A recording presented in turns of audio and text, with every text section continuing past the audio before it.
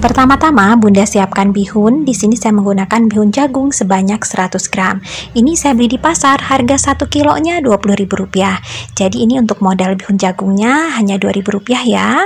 Bihun jagung ini akan saya rendam dengan air panas sampai melar dan lunak. Jangan lupa diberi sedikit minyak sayur ya. Sambil menunggu bihunnya ini lunak, kita akan menyiapkan bahan lainnya. Siapkan 3 buah tahu putih, ini yang ukuran sedang. Ini saya beli di pasar, harga satuannya Rp350. Ini tahunya saya haluskan dengan ulekan seperti ini aja. Bunda boleh menggunakan alat yang lain ya, yang lebih mudah ataupun lebih cepat. Nah, jika sudah, ini tahunya bisa kita sisihkan terlebih dahulu. Kemudian siapkan juga 2 batang daun bawang. Ini daun bawangnya sudah saya cuci bersih dan saya iris halus seperti ini. Nah, ini udah selesai ya. Ini bisa kita pindahkan ke dalam wadah dan kita sisihkan terlebih dahulu. Kemudian siapkan juga dua siung bawang putih. Ini bawang putihnya saya giling halus terlebih dahulu. Nah, ini udah selesai. Ini bawang putihnya bisa kita sisihkan terlebih dahulu.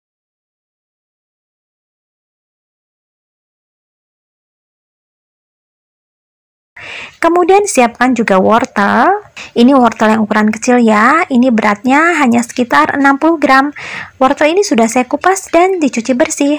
Wortel ini saya serut menggunakan serutan sayur seperti ini. Tapi kalau misalnya bunda nggak punya serutan sayur seperti ini, bisa menggunakan parutan keju ya. Atau boleh juga diiris kecil-kecil tipis-tipis. Nah, jika sudah wortelnya ini bisa kita sisihkan terlebih dahulu. Kemudian siapkan juga dua buah sosis. Ini sosis sapi ya bunda. Bunda boleh menggunakan sosis ayam sesuai selera aja. Tapi saran saya jika untuk jualan gunakan sosis sapi. Karena sosis sapi itu kan warnanya lebih merah ya. Jadi jika untuk jualan nanti akan terlihat lebih menarik. Sosis ini saya iris tipis-tipis dan panjang. Dan untuk satu sosis ini jadinya banyak banget. Nanti sosis ini akan kita jadikan sebagai sebagai topping. Sosis ini saya beli di pasar harganya Rp700 per buahnya dan ini panjangnya sekitar 12 cm. Nah, jika sudah diiris kecil-kecil memanjang seperti ini, ini bisa kita sisihkan terlebih dahulu ya. Sekarang kita lihat bihun yang tadi kita rendam dengan air panas. Nah, ini bihunnya sudah benar-benar melar dan ini akan saya tiriskan terlebih dahulu.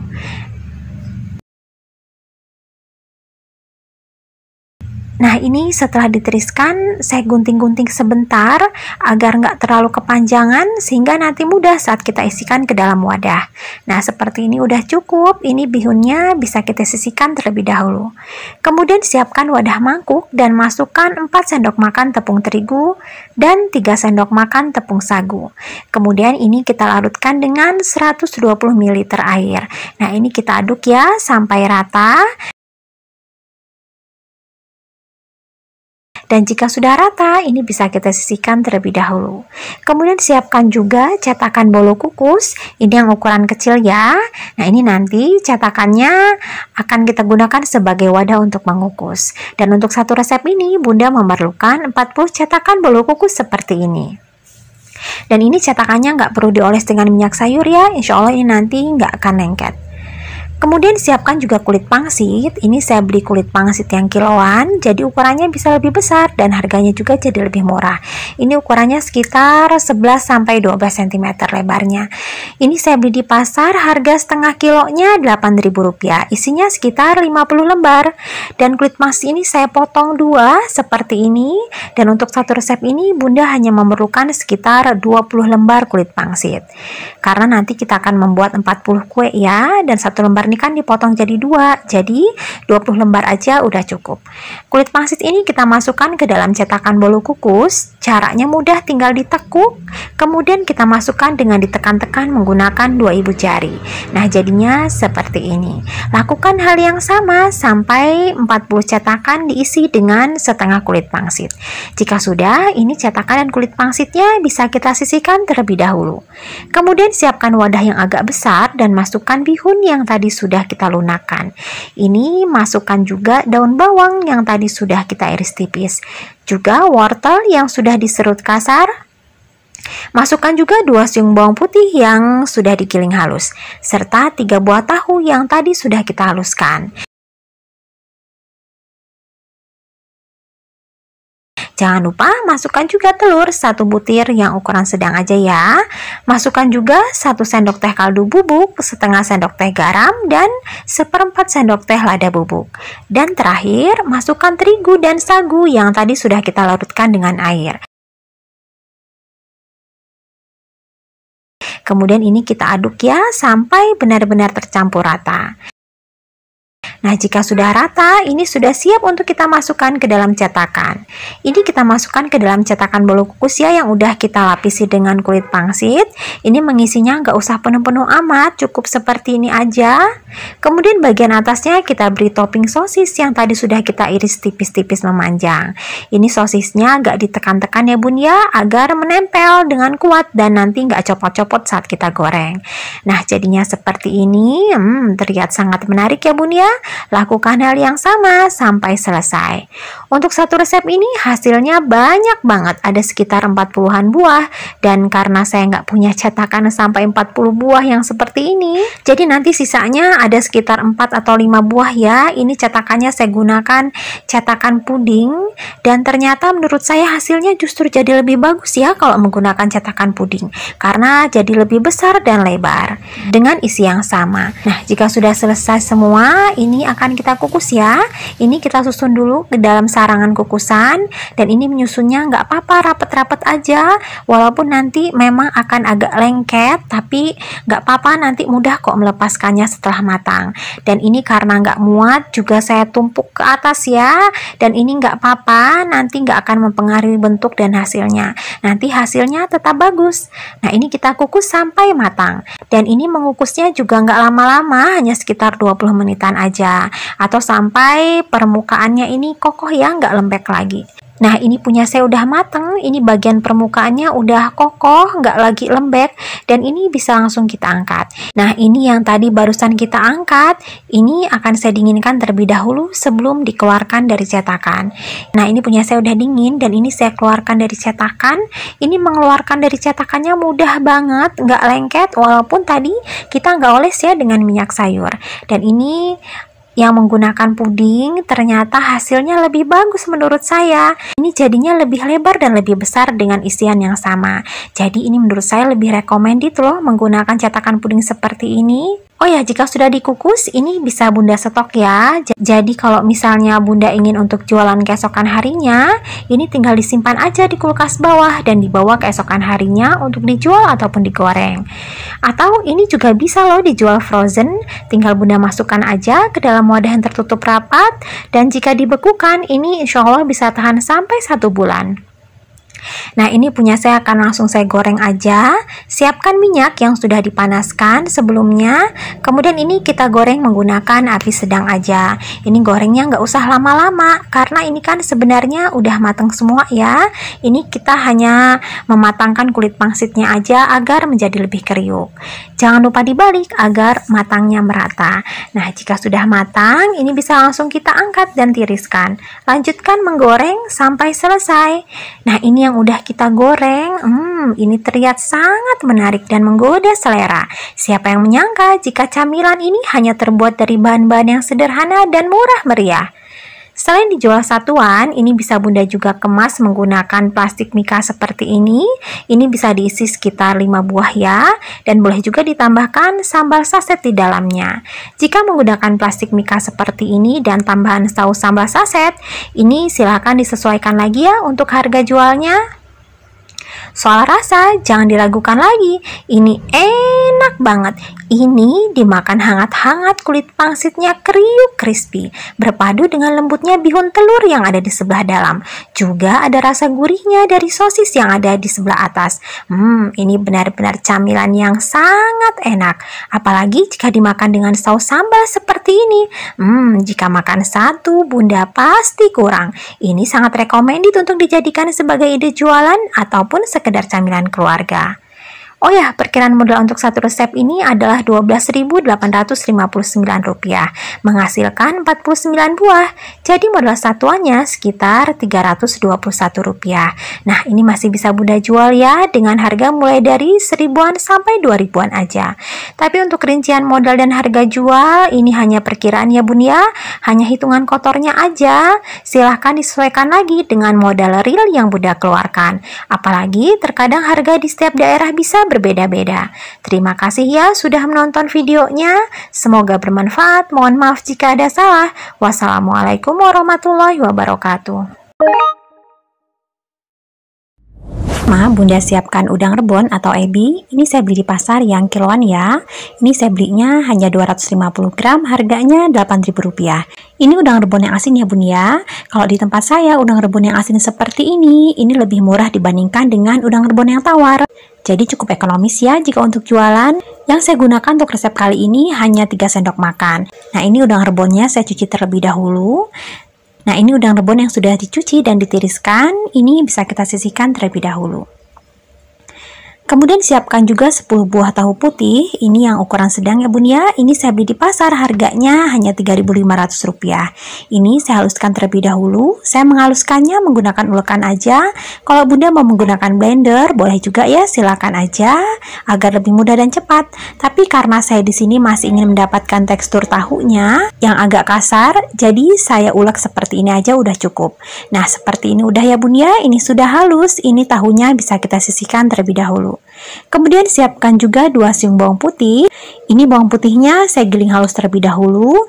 Saya kurang merekomendasikan menggunakan bubuk bawang putih ya. Karena menurut saya bubuk bawang putih itu wanginya kurang nendang. Tapi kalau menggunakan bawang putih segar seperti ini, ini insya Allah akan lebih sedap dan mantap. Nah ini sudah, ini bisa kita sisihkan terlebih dahulu. Sekarang kita akan menumis isinya. Siapkan minyak dalam wajan secukupnya untuk menumis, kemudian masukkan bawang putih yang tadi sudah kita haluskan.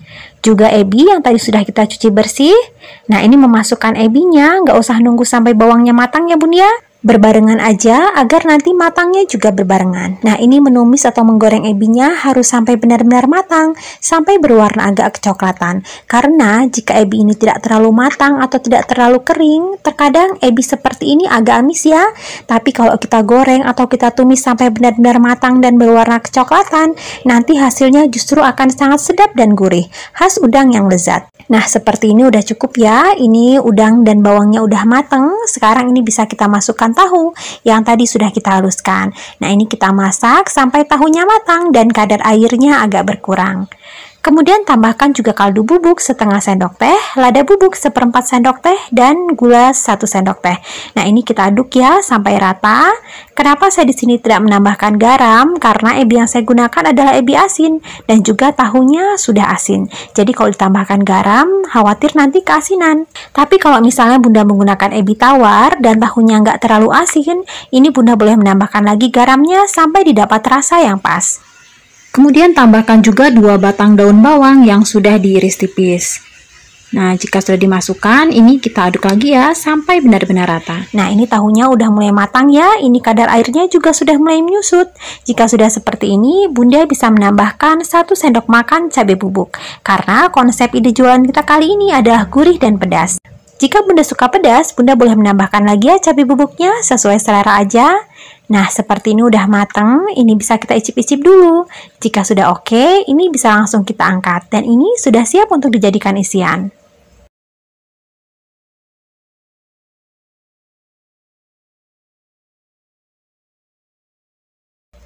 Oh ya, sebelumnya siapkan juga kulit lumpia ya bun ya.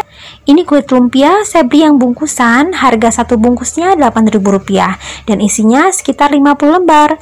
Jika untuk jualan dan Bunda ingin menyetok kulit lumpia, ini bisa disimpan ya bun ya di kulkas bawah. Tapi saran saya, jangan menyimpan kulit lumpia lebih dari tiga hari di kulkas bawah. Karena terkadang jika lebih dari tiga hari akan menjadi sangat lembab kulit lumpianya dan akan menjadi mudah sobek. Oh ya, siapkan juga untuk perkatnya ya. Ini perkatnya mudah, hanya satu sendok makan tepung terigu yang dicampur dengan sedikit air. Nah, kira-kira seperti ini, nggak usah terlalu kental ya bun ya. Ini udah cukup. Nah, sekarang sudah ada perkat, juga ada tahu ebi pedas, serta 25 lembar kulit lumpia. Kemudian ambil satu lembar kulit lumpia dan letakkan secukupnya tahu ebi pedas di atasnya. Kemudian ini kita bentuk segitiga ya. Kemudian kita lipat seperti ini. Juga bagian kiri dan kanannya dilipat lagi. Dan dilipat lagi ke atas membentuk segitiga.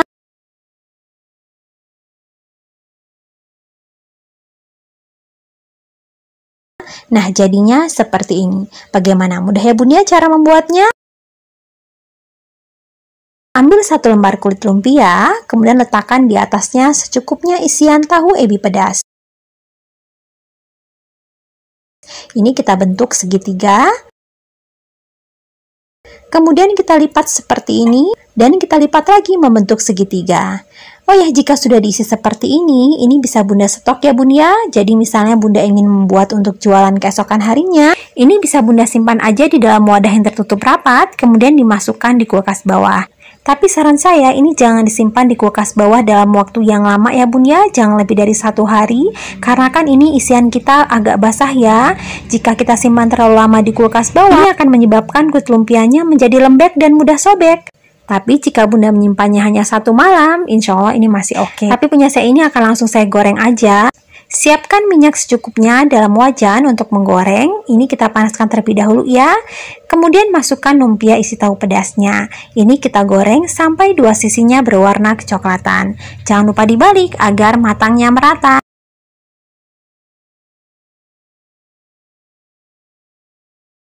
Nah ini udah mateng ya Ini dua sisinya sudah berwarna kecoklatan Ini bisa langsung kita angkat dan tiriskan Lanjutkan menggoreng sampai selesai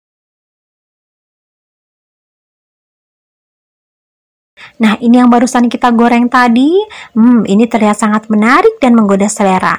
Wangi tahunya bercampur dengan udang dari ebinya, hmm, sudah tercium ke mana-mana. Ini benar-benar camilan yang sangat sedap.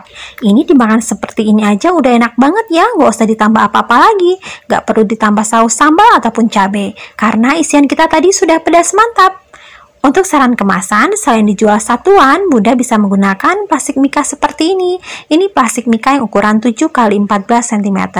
Ini bisa Bunda isi dengan 3 buah ya. Jika menggunakan plastik mika seperti ini, tentu nilai jualnya akan naik ya Bunda ya. Silahkan disesuaikan lagi harga jualnya. Soal rasa, jangan diragukan lagi. Ini enak banget. Ini dimakan hangat-hangat, kulit lumpianya sangat garing dan kriuk. Berpadu dengan lezat dan gurihnya tahu ebi yang ada di sebelah dalam. Hmm, ini benar-benar perpaduan yang sangat mantap. Ini isiannya gurih, sedap, pedas jika makan satu pasti bunda kurang. Ini sangat rekomendasi jika dijadikan sebagai ide jualan ataupun sekedar camilan keluarga. Oh ya, perkiraan modal untuk satu resep ini adalah Rp10.900, menghasilkan 25 buah. Jadi modal satuannya sekitar Rp436. Nah, ini masih bisa Bunda jual ya dengan harga mulai dari seribuan aja. Tapi untuk rincian modal dan harga jual, ini hanya perkiraan ya Bunda, ya. hanya hitungan kotornya aja. Silahkan disesuaikan lagi dengan modal real yang Bunda keluarkan. Apalagi harga di setiap daerah terkadang berbeda-beda. Terima kasih ya sudah menonton videonya. Semoga bermanfaat. Mohon maaf jika ada ada salah. Wassalamualaikum warahmatullahi wabarakatuh. Pertama-tama, Bunda siapkan mie kuning atau mie telur atau biasanya juga ini disebut mie kenduri ya. Ini saya beli satu pak seperti ini harganya Rp10.000, beratnya 500 gram. Tapi ini yang saya pakai nggak semua, hanya 100 gram aja. Jadi untuk modal mie-nya ini hanya sekitar Rp2.000 ya. Nah, mie-nya ini bisa Bunda ganti dengan mie instan. Kalau Bunda menggunakan mie instan, pasti rasanya lebih bervariasi dan enak ya. Tapi jika menggunakan mie instan, silahkan disesuaikan lagi harga jualnya. Mie ini akan saya rebus sampai lunak. Siapkan air dalam panci jika sudah mendidih, kemudian masukkan mie-nya. Nah, ini kita tunggu sampai mie-nya ini lunak. Nah, seperti ini udah cukup. Ini bisa langsung kita angkat dan tiriskan. Nah, ini minyak bisa kita sisihkan terlebih dahulu. Oh ya, siapkan juga untuk perekatnya ya. Di sini saya menggunakan satu sendok makan tepung terigu yang diencerkan dengan air secukupnya sampai didapat kekentalan yang sedang. Ini nggak usah kental-kental amat ya bun ya. Seperti ini aja udah cukup. Ini perekatnya bisa kita sisihkan terlebih dahulu. Sekarang kita siapkan bumbunya. Untuk bumbunya saya hanya menggunakan 2 siung bawang putih. Ini bawang putihnya saya giling halus terlebih dahulu ya. Oh ya, Bunda boleh menggunakan bawang merah ya. Tapi saya di sini nggak pakai bawang merah kalau untuk jualan karena harga bawang merah itu kurang stabil ya Bun ya. Jika untuk jualan, jadi saya gunakan bawang putih aja dan ini nanti rasanya juga tetap enak. Nah, ini bawang putihnya udah ya. Ini bisa kita sisihkan terlebih dahulu. Kemudian siapkan juga dua batang daun bawang. Ini daun bawangnya udah saya cuci bersih dan ini saya iris tipis-tipis seperti ini. Nah, seperti ini udah cukup. Ini daun bawangnya bisa langsung kita tumis beserta dengan bawang putihnya. Siapkan minyak secukupnya dalam wajan untuk menumis, kemudian masukkan bawang putih, Masukkan juga daun bawang. Nah, ini kita tumis sampai bawang putih dan daun bawangnya ini matang dan wangi. Oh ya, ini kenapa bawang putihnya juga ikut saya tumis? Ini agar nanti kue kita lebih awet. Karena jika kita menggunakan daun bawang yang mentah, itu kadang kuenya jadi cepat basi dan kurang awet. Nah, ini bawang putih dan daun bawangnya sudah matang. Ini bisa langsung kita angkat. Oh ya, ini minyak untuk menumisnya juga ikut kita pakai ya bun ya. Jangan dibuang, nanti akan kita campurkan juga ke dalam mie-nya agar nanti rasanya lebih sedap. Nah, ini mie yang tadi sudah kita rebus dan tiriskan. Kemudian ini akan saya gunting-gunting terlebih dahulu agar lebih pendek dan gak kepanjangan saat nanti kita memasukkan sebagai isian. Oh ya, alternatif lain Bunda bisa menghancurkannya terlebih dahulu ya sebelum direbus. Jadi nanti Bunda gak perlu menggunting-guntingnya seperti ini. Nah, seperti ini udah cukup. Kemudian masukkan juga garam seperempat sendok teh, kaldu bubuk seperempat sendok teh, dan lada bubuk seperempat sendok teh. Kemudian masukkan juga daun bawang dan bawang putih yang tadi sudah kita tumis beserta minyaknya. Saya juga menambahkan cabai bubuk sekitar 1 sendok makan datar. Karena konsep camilan kita kali ini adalah gurih pedas ya. Jika Bunda lebih suka pedas, Bunda boleh menambahkan cabai bubuknya. Oh ya, kenapa saya di sini sering menggunakan cabai bubuk, bukannya cabai segar? Itu karena menurut saya, cabai bubuk itu harganya lebih stabil jika dibandingkan dengan cabai segar. Jadi bahan yang harganya stabil seperti ini lebih cocok jika dijadikan sebagai bahan baku untuk jualan. Tapi jika bunda untuk dimakan sendiri, untuk camilan keluarga, silahkan gunakan atau tambahkan cabai segar. Pasti rasanya lebih mantap ya. Ini kita aduk sampai rata. Dan ini memasukkan bumbunya sebaiknya saat masih panas ya bun ya. Karena jika masih panas, ini bumbu-bumbunya akan lebih mudah tercampur merata. Dibandingkan jika kita memasukkan bumbunya saat sudah dingin. Karena jika sudah dingin terkadang minyak ini agak menggumpal ya. Nah, seperti ini udah cukup rata. Ini sudah siap untuk kita jadikan sebagai isian.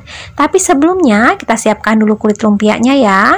Di sini saya menggunakan kulit lumpia. Ini murah, saya beli di pasar satu bungkus seperti ini hanya Rp8.000. Isinya sekitar 50 lembar. Jadi modal untuk kulit lumpianya ini hanya sekitar Rp160 per lembarnya. Dan untuk satu resep ini kita hanya memerlukan sekitar 11 lembar kulit lumpia. Kulit lumpia ini saya potong menjadi dua.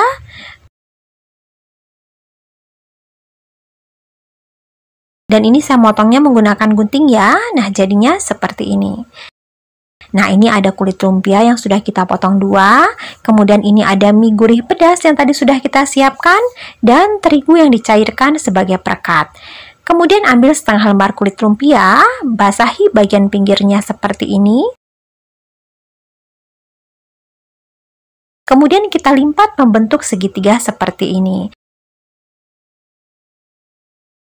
Kemudian ujungnya direkatkan ya. Nah, jadinya seperti kon. Kemudian masukkan mie ke dalamnya secukupnya, ini sekitar 1 sendok makan. Kemudian kita rapikan bagian atasnya menggunakan sendok. Ini kita tutup seperti ini dan bagian ujung atasnya ini kita rekatkan menggunakan cairan terigu. Nah, jadinya seperti ini. Unik ya bun ya bentuknya? Jadi seperti kerucut. Bagaimana mudah ya cara membuatnya? Saya ulangi lagi ya. Ambil setengah lembar kulit lumpia, kemudian basahi bagian ujungnya dengan terigu yang dicairkan. Kemudian kita lipat seperti ini. Jika sudah membentuk kerucut, ini bisa kita isi dengan mie yang tadi sudah kita siapkan.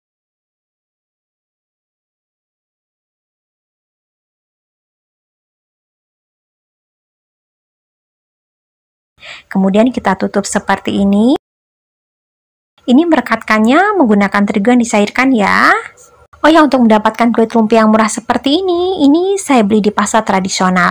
Jadi jangan beli di mall atau yang uh, pakan itu ya bun ya, yang bermerek itu lumayan mahal, cukup beli aja yang di pasar tradisional, di tempat grosir sosis seperti itu ya. Ini juga dibungkusnya hanya menggunakan plastik sekedarnya. Tapi walaupun harganya murah, insya Allah ini kualitasnya oke jika untuk jualan. Jika sudah diisi seperti ini, ini bisa disetok ya bun ya. Jadi misalnya bunda ingin membuat untuk jualan keesokan harinya, ini bisa bunda buat satu hari sebelumnya. Tinggal bunda masukkan aja ke dalam wadah yang tertutup rapat, kemudian disimpan di kulkas bawah, dan dibawa atau digoreng keesokan harinya. Tapi saya tidak merekomendasikan ini disimpan terlalu lama di kulkas bawah, karena kulit lumpia ini jika terlalu lama di dalam kulkas bawah, itu walaupun disimpan dalam wadah yang tertutup, terkadang kulit emasnya ini akan menjadi lembab, sehingga bisa mudah sobek. Tapi jika bunda hanya menyimpannya satu malam di kulkas untuk jualan keesokan harinya, ini insya Allah masih oke okay ya. Nah, punya saya ini akan langsung saya goreng. Siapkan minyak yang sudah dipanaskan sebelumnya, kemudian masukkan lumpia isi mie pedas yang tadi sudah kita buat. Ini kita goreng sampai semua sisinya berwarna agak kecoklatan dan bertekstur crunchy. Jangan lupa dibalik agar matangnya merata. Nah, seperti ini udah cukup ya. Ini bisa langsung kita angkat dan tiriskan. Lanjutkan menggoreng sampai selesai. Nah, ini yang barusan kita goreng tadi. Hmm, ini terlihat sangat unik dan menarik ya bun ya. Ini dimakan seperti ini aja udah enak banget. Ini nggak usah ditambah saus sambal atau cabai karena ini isiannya kita sudah gurih dan pedas mantap. Untuk saran kemasan, selain dijual satuan, Bunda bisa menggunakan plastik mika ya. Ini punya saya ukuran yang 7 x 14 cm, bisa diisi dengan 4 buah. Dan Bunda juga bisa mengkapinya dengan saus sambal. Tapi kalau nggak pakai saus sambal juga nggak apa-apa ya, ini udah pedas kok. Jadinya seperti ini. Jika menggunakan plastik mika dan ditambahkan saus sambal saset, pasti akan menaikkan harga jualnya ya. Silahkan Bunda sesuaikan lagi dengan harga jualnya. Soal rasa, jangan diragukan lagi. Ini enak banget. Ini jika dimakan hangat-hangat, kulit lumpianya crispy, crunchy banget, berpadu dengan lezat dan gurihnya mie yang ada di sebelah dalam. Ini juga rasa pedesnya juga enak, mantep banget. Hmm, pokoknya ini enak deh. Bikin lagi, jika bunda makan satu pasti kurang. Ini cocok banget untuk dijadikan sebagai ide jualan ataupun sekedar camilan keluarga. Oh ya, perkiraan modal untuk satu resep ini adalah Rp6.510, menghasilkan 22 buah. Jadi modal satuannya sekitar Rp295. Nah, ini masih bisa Bunda jual ya dengan harga mulai dari seribuan aja. Jika dijual harga seribuan, pasti untungnya lumayan banget ya. Tapi untuk rincian modal dan harga jual, ini hanya perkiraan ya bun ya, hanya hitungan kotornya aja. Silahkan disesuaikan lagi dengan modal real yang bunda keluarkan. Apalagi terkadang harga di setiap daerah bisa berbeda-beda. Terima kasih ya sudah menonton videonya, semoga bermanfaat. Mohon maaf jika ada salah. Wassalamualaikum warahmatullahi wabarakatuh. Pertama-tama, Bunda siapkan kulit lumpia. Ini kulit lumpianya saya beli di pasar, bukan buat sendiri. Ini harga satu bungkusnya Rp8.000. Isinya sekitar 50 lembar. Jadi untuk modal kulit lumpianya ini sekitar Rp160 per lembarnya. Dan untuk satu resep ini kita memerlukan hanya 20 lembar aja. Kulit lumpia ini saya potong menjadi dua bagian, jadi nanti satu kue hanya menggunakan setengah lembar aja ya, jadi lebih hemat. Nah, kulit lumpia ini kita sisihkan terlebih dahulu. Sekarang kita siapkan isinya. Siapkan bawang putih dua siung, ini bawang putihnya saya ulek sampai halus ya. Nah, ini sudah halus. Ini saya pindahkan ke dalam wadah dan kita sisihkan terlebih dahulu. Kemudian siapkan juga dua batang daun bawang, ini yang ukuran agak besar ya bun ya. Ini saya iris tipis. Oh ya, daun bawangnya ini lebih enak jika banyak, agar nanti rasanya lebih sedap dan wangi. Jika sudah, ini kita sisihkan terlebih dahulu. Sekarang kita akan menyiapkan perkatnya. Untuk perkatnya mudah, ini saya hanya menggunakan satu sendok makan tepung terigu yang dicairkan dengan sedikit air. Ini nggak usah kental-kental amat ya bun ya, kekentalannya sedang aja seperti ini. Nah ini perkatnya kita sisihkan terlebih dahulu. Kemudian saya juga menggunakan kentang. Di sini kentangnya sedikit aja ya, hanya 250 gram. Ini saya beli di pasar, harga per kilonya Rp15.000. Jadi modal untuk kentangnya ini sekitar 3.500 ya. Kentang ini saya kupas dan nanti akan saya rebus. Kalau Bunda mau kukus juga boleh ya. Tapi karena ini cuma sedikit dan biar lebih cepat, ini akan saya rebus aja. Ini saya potong-potong terlebih dahulu agar nanti lebih cepat matangnya.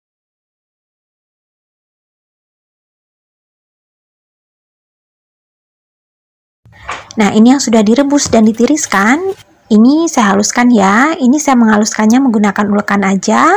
Kalau misalnya Bunda mau menggunakan alat yang lain, misalnya blender, boleh-boleh aja, silahkan. Tapi karena saya masih ingin mendapatkan tekstur kentangnya, nggak terlalu halus, jadi ini saya gunakan ulekan seperti ini aja. Nah, seperti ini udah cukup halus ya. Ini kentangnya bisa kita sisihkan terlebih dahulu. Kemudian siapkan wajan dan masukkan 250 ml air, serta 50 gram margarin. Nah, ini kita masak masak sampai airnya mendidih dan margarinnya ini mencair. Nah ini airnya udah mendidih ya dan margarinnya juga udah mulai mencair. Kemudian ini api kompornya kita matikan dan masukkan 100 gram tepung terigu. Di sini saya menggunakan tepung terigu curah biasa aja yang 1 kilonya Rp10.000. Ini api kompornya harus mati ya bun ya karena kalau api kompornya nggak mati nanti ini akan langsung menggumpal dan menyulitkan kita untuk mengaduknya. Nah ini kita aduk sampai rata. Oh ya lebih bagus lagi kalau tadi tepung terigunya sebelum dimasukkan diayak ya bun ya agar ini nggak banyak yang menggerindir. Nah, jika sudah rata, ini bisa kita pindahkan ke dalam wadah yang agak besar. Nah, ini kita dinginkan terlebih dahulu ya, karena nanti saya mau mengaduknya menggunakan tangan biar nggak panas. Nah, ini punya saya udah dingin. Kemudian masukkan kentang yang tadi sudah kita haluskan.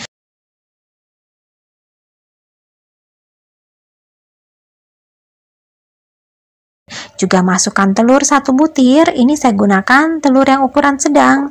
Kemudian masukkan juga garam setengah sendok teh, kaldu bubuk satu sendok teh, dan lada bubuk seperempat sendok teh. Nah ini kita aduk ya sampai benar-benar tercampur rata. Terutama tadi bumbu-bumbunya ya, jangan sampai ada yang menggumpal.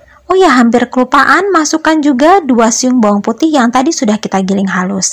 Serta masukkan juga dua batang daun bawang yang sudah diiris tipis. Nah, ini kita aduk lagi sampai daun bawangnya tercampur merata.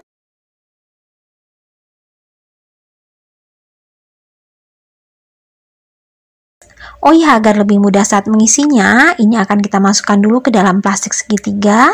Ini memasukkannya nggak usah banyak-banyak dulu ya, sedikit aja seperti ini. Kalau misalnya Bunda nggak punya plastik segitiga, Bunda bisa menggunakan plastik kiloan yang biasa aja. Sama aja nggak apa-apa, nanti ujungnya kita gunting.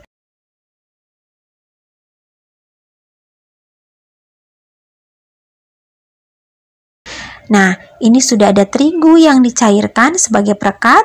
Juga ada kentang telur ekonomis yang sudah dimasukkan ke dalam plastik segitiga. Juga kulit lumpia yang sudah dipotong dua. Kemudian ambil setengah lembar kulit lumpia dan letakkan secara memanjang kentang telur yang tadi sudah kita buat. Kemudian pinggir-pinggirnya kita beri cairan terigu sebagai perekat. Kemudian kita gulung seperti ini Ujungnya juga kita rekatkan ya dengan cairan terigu. Kemudian ini bagian kiri kanannya kita tekan agar nanti isinya tidak keluar. Nah, jadinya seperti ini. Bagaimana mudah ya bun ya cara membuatnya? Ambil setengah lembar kulit lumpia, kemudian letakkan secara memanjang isian ketang telur di atasnya. Kemudian pinggir-pinggirnya kita beri cairan terigu sebagai perekat dan kita gulung. Nah, ini ujung kiri kanannya kita tekan ya agar nanti isinya tidak keluar saat digoreng. Dan untuk satu resep ini nanti jadinya banyak banget. Jadi sekitar 40 lumpia kentang telur. Dan jika sudah diisi seperti ini, ini bisa Bunda stok ya Bunda. ya. Jadi misalnya Bunda ingin membuat untuk jualan keesokan harinya, ini bisa Bunda buat satu hari sebelumnya, kemudian disimpan di kulkas bawah, dan dibawa keesokan harinya untuk dijual ataupun digoreng. Tapi saya kurang merekomendasikan untuk di frozen ya Bunda, ya, karena seperti biasa, ini kulit lumpia, jika terlalu lama di kulkas, kulit lumpianya ini akan menjadi lebih lunak dan mudah sobek. Tapi kalau misalnya Bunda hanya menyimpannya satu malam, dalam untuk stok jualan besoknya, ini insya Allah masih oke. Okay. Nah, punya saya ini akan langsung saya goreng aja. Siapkan minyak yang sebelumnya sudah dipanaskan. Ingat, ini menggorengnya minyaknya harus sudah benar-benar panas ya bun ya. Kenapa? Karena kita menggorengnya cuma sebentar banget, hanya untuk mematangkan kulit lumpianya aja. Ini sambil dibolak-balik ya. Ini menggorengnya hanya beberapa detik aja, karena kalau terlalu lama bunda menggorengnya, ini isinya akan beresiko keluar baik dari tengah ataupun dari ujungnya. Ini sebentar aja kulit lumpianya udah berwarna kecoklatan dan bisa langsung kita angkat. Ini sangat penting ya bun ya, menggorengnya gunakan api besar dan sebentar aja. Kalau misalnya bunda menggoreng terlalu lama, ini tadi ya seperti saya katakan ini akan keluar isinya ya, karena kan kulit lumpia ini eh, porinya lumayan agak besar-besar. Nah, ini yang punya saya yang udah digoreng barusan. Hmm, ini terlihat sangat menarik dan menggoda selera. Siapa yang menyangka jika hanya terbuat dari bahan-bahan yang sangat sederhana dan mudah didapatkan. Ini dimakan seperti ini aja udah enak banget. Tapi agar rasanya lebih mantap, ini akan saya tambahkan saus sambal sebagai pendampingnya. Di sini saya menggunakan saus sambal yang diencerkan. Ini diencerkan dengan air matang seperti ini. Jika ada anak-anak yang membeli, bisa Bunda gunakan plastik perempatan seperti ini. Ini bisa diisi tiga ya.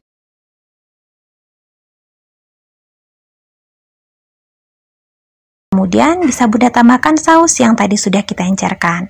Nah, ini jadinya seperti ini, terlihat sangat menarik dan menggoda selera. Atau saran kemasan lain bisa Bunda gunakan kemasan plastik mika. Ini plastik mika yang ukuran 7 x 14 cm. Ini bisa diisi dengan 5 buah ya. Dan bisa juga Bunda tambahkan saus sambal saset. Jika menggunakan plastik mika dan sambal saset seperti ini, silakan disesuaikan lagi untuk harga jualnya. Soal rasa, hmm, jangan diragukan lagi. Ini enak banget.